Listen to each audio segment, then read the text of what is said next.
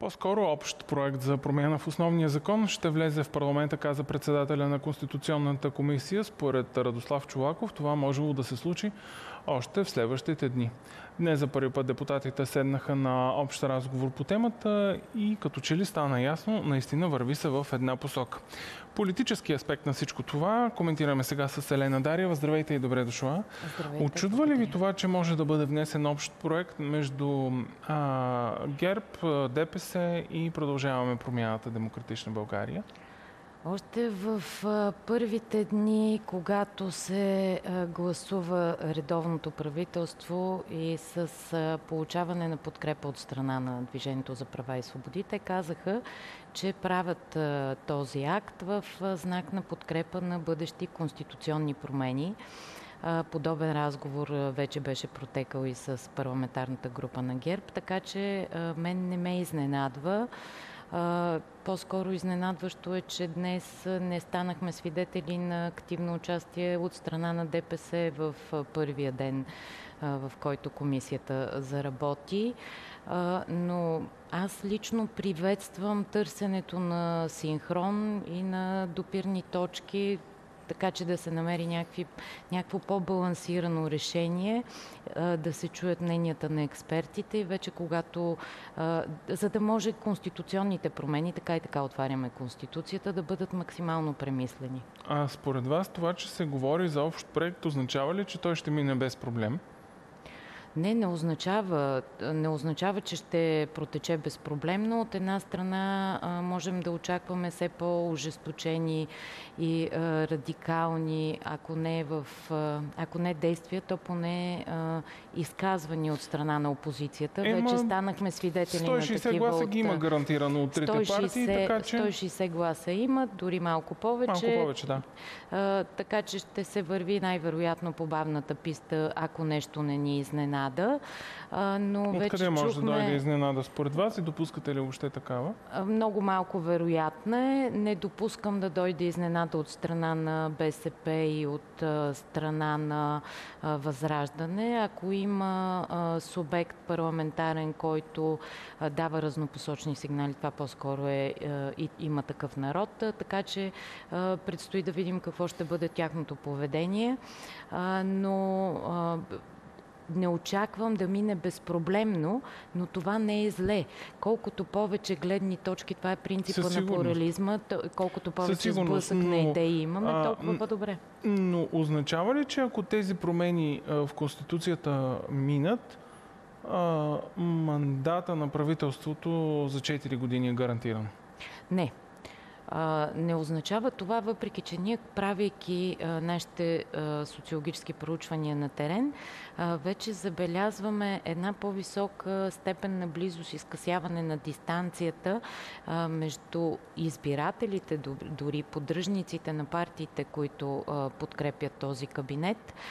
Лично аз не очаквам до местните избори да станем свидетели на някакви дълбоки конфронтации. Той не остана време доколкото август ще бъдат в вакансия, а през септември вече ще бъдат активно в предизборна кампания, така че не очаквам кой, кой знае какви сътресения.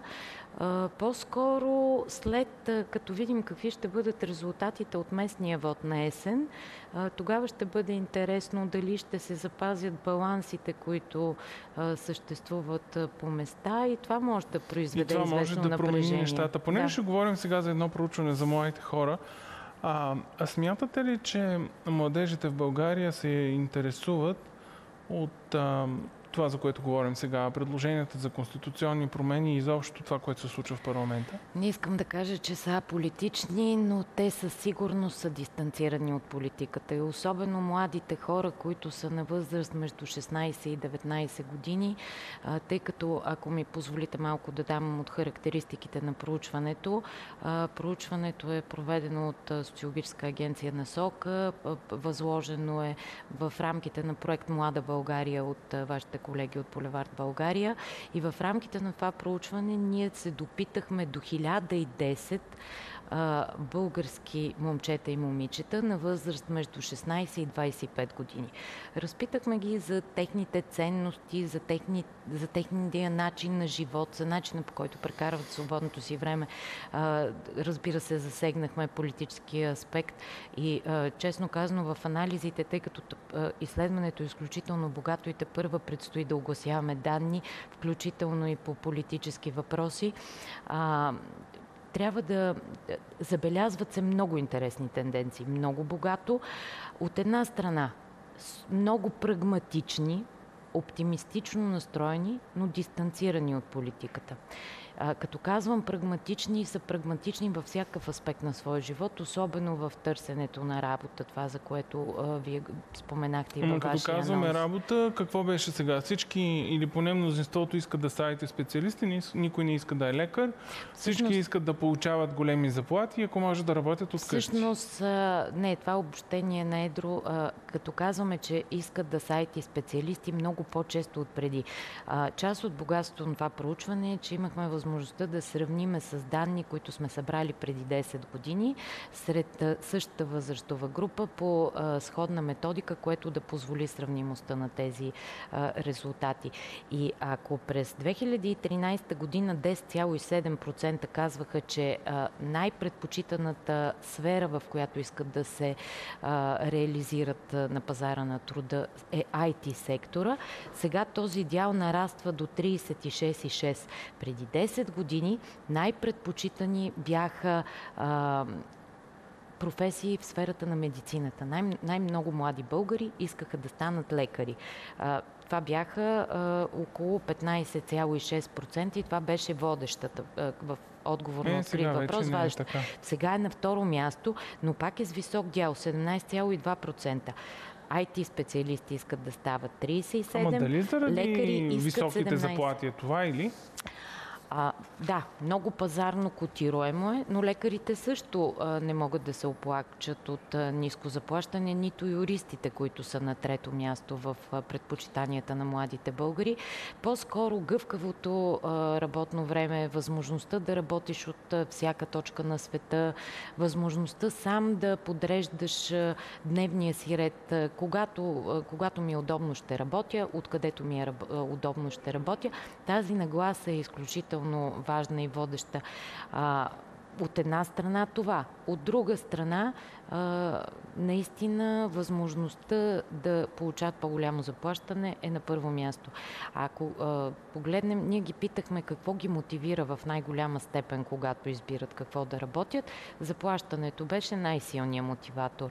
А, неща от типа на да имам възможност за творчество или да работя по специалността си, което беше водещо изискване преди 10 години, вече отстъпват далеч назад.